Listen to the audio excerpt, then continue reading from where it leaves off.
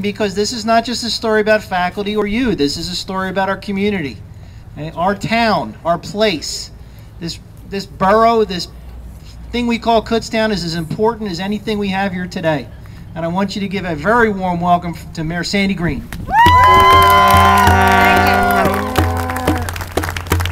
Really proud to be here today and support you. I am totally against the 50% tax cut that governor has placed on education.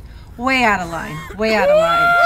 Um, we all have budget cuts that we have to look at, the borough of Kutztown as well as this university, but cutting education by 50% is unheard of.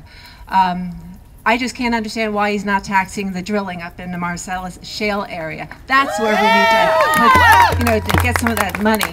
Um, the other thing is, you know, you talk about the postcards that you're sending to your legislators. Actually, when you look at our government in Harrisburg and you look at our house, I think the governor could start there and look at how he could trim his budget up there. We have nine state reps just in Berks County alone. I mean, I think this redistricting and has really hurt Pennsylvania. We have more uh, gov government than, in, than the state of Texas for crying out loud. I think it's time we start looking at up in Harrisburg, how we can start there, not education. Um, also, students, you really have a voice. It is well heard down in the borough of Kutztown. You have a strong voice. When things need to get done, I always encourage students to stand up and speak. Speak your mind, really, I mean, and don't let it stop. Continue with your state reps, continue with senators, you know, just keep it up, go to Harrisburg, keep, just don't stop. That's all I say, because you have an incredible voice um, in this state. So um, I support you, and whatever I can do to help, please let me know. Thank you.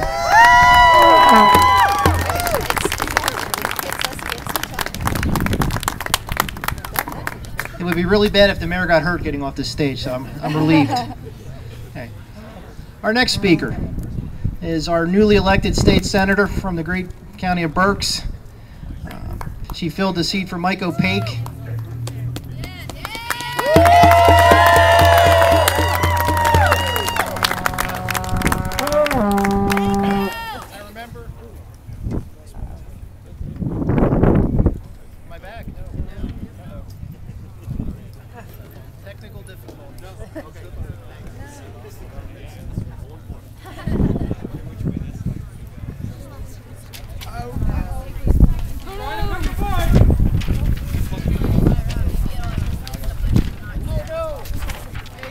He guy. There great go. Is it on? We're back. Ah, we're back. We can still stay close. When I ran for school board, one of the first things Mike O'Pake came and talked to me about was what he basically asked me a question: What can I do to help? And when I ran and I served, I kept that in mind. And I think what we have here is an individual who's going to carry on that tradition of help, okay, who believes. One of the happiest things I did when they had that election was I went home and I voted, and I did it, and I was glad. And I looked at the outcome, and it told me something. Okay? All the proposals on the other side, well, we know what the result was. Okay? And I am thrilled, thrilled to have our newly elected state senator, Judy Schwank. Please warm, give her a warm welcome.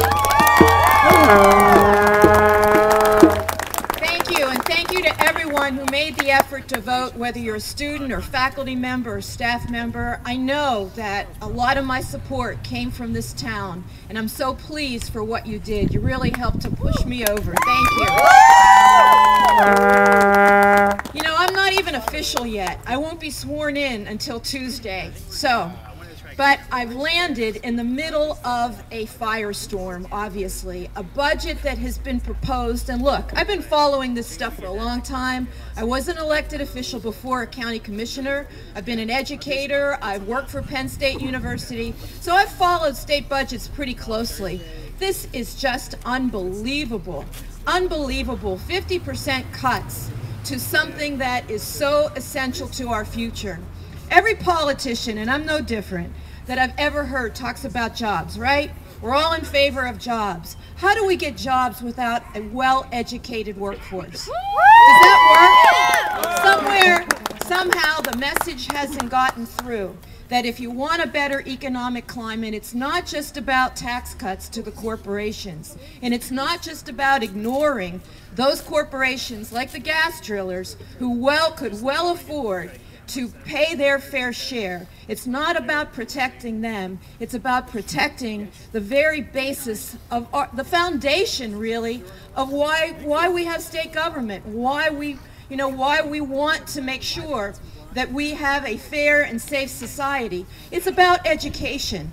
And this governor, I'm sorry to say, has said that education doesn't matter anymore. Not only on the higher education level, but you know, you have brothers and sisters or family members, K through 12, the same thing has happened. Cuts that are almost impossible to deal with at this at this present time because most of them have already worked on their budgets. And as you've heard Dr. Vargas say, some of this stuff they're really going to have to scramble in order to make accommodation for these kinds of cuts.